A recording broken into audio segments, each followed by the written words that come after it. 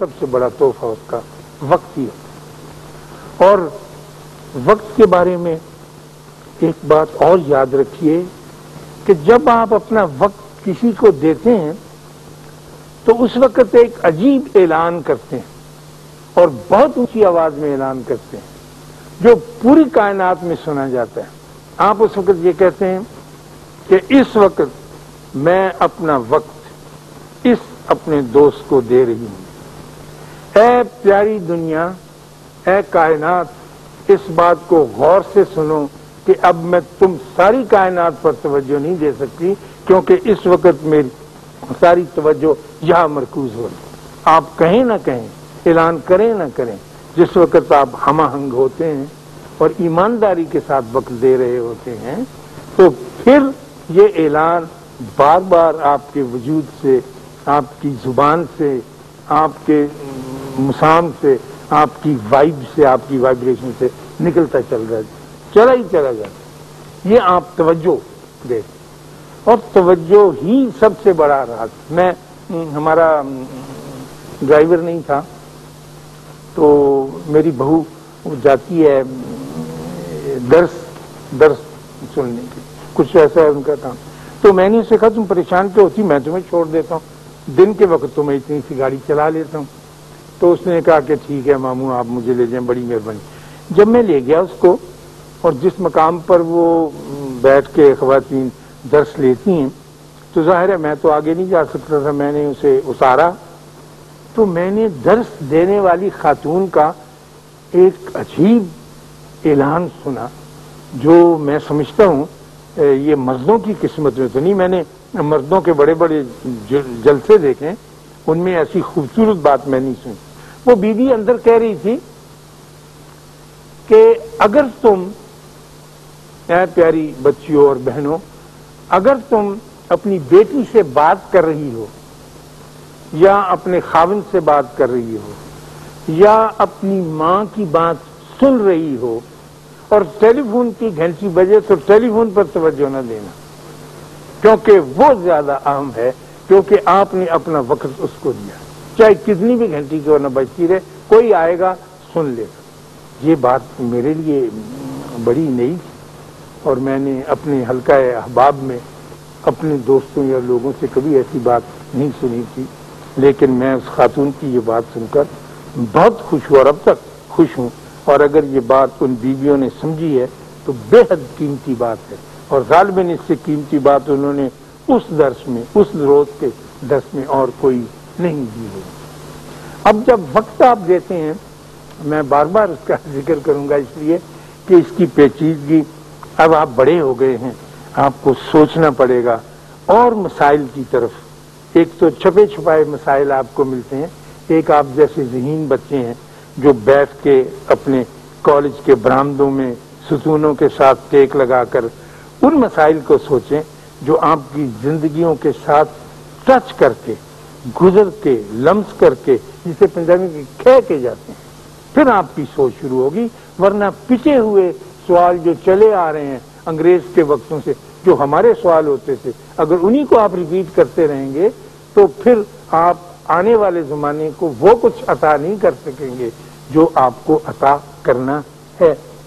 تو یہ وقت جو ہے، اس کا تعلق حال سے ہے۔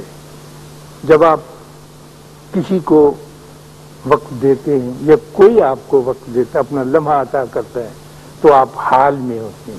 اس کا تعلق مستقبل سے یا ماضی سے نہیں ہوتا کہ ماضی میں آپ نے وہ تو اس وقت آپ کے سامنے ہے اور آپ اس سے بات کر رہے ہیں اور اس کو یقین دلا رہے ہیں اپنی ہونے کا اور اپنی توجہ دینے کا۔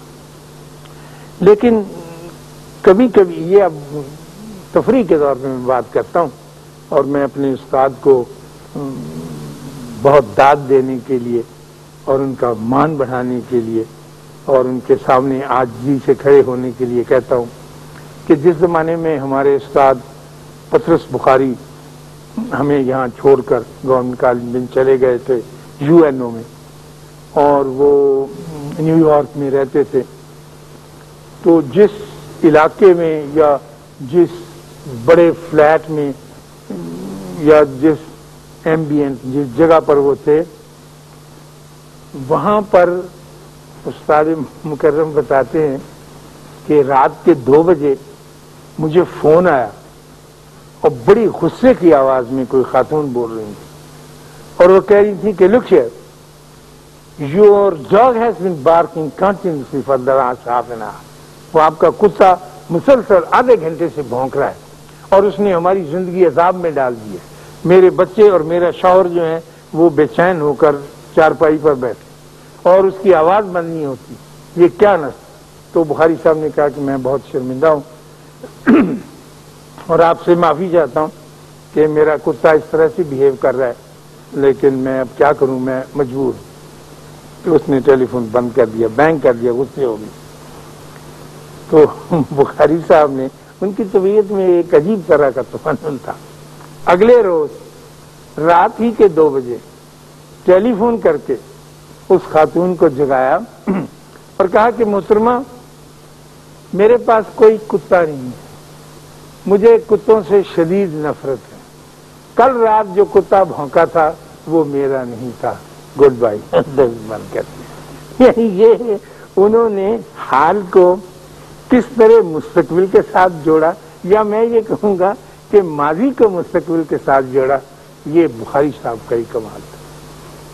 اور خاتون حضرات، ایک بڑی عجیب و غریب بات جو میں آپ سے کرنے لگا ہوں۔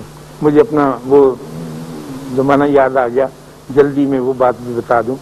جب میں اٹلی میں رہتا تھا، روم میں، تو روم میں ایک ہے فنتانا دی تریوی ایک یہ فوارہ ہے جس میں لوگ پیسے پھینکتے ہیں۔ کہ میں پھر بھی یہاں ہوں۔ منت مانتے ہیں کوئی کہ اللہ کرے میری منت پوری ہو تو میں۔ آ رہا تھا دفتر سے، اپنی یونیورسٹی سے۔ تو راستے میں کھڑا کر بہت سارے امریکن ٹورسٹ آئے ہوئے تھے۔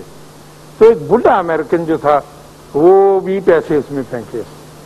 تو اس کی بیوی ہنس کے کہنے لگی کہ George I think you are so superstitious میرا نہیں خیال تھا کہ تم اتنے دکیانوس اور اتنے وہ پرانی بات کو ماننے والے۔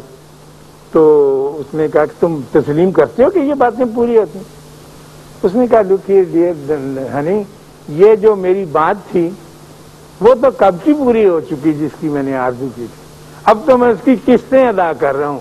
یہ قسط پہ لیجیے تو یہ اٹیچمنٹ کی اور محبت کی باتیں ہیں جو ہمارے یہاں پر رواج کم ہے تو خواتین و حضرات، جس طرح سے میں وقت کی بات آپ کی خدمت میں عرض کر رہا تھا اور اسے تحفے کے طور پر ادا کرنے کے لیے، دینے کے لیے آپ کو رائے دے رہا تھا جو میں سوچتا ہوں اسی طرح وقت ہی سب سے بڑا دشمن بھی ہے۔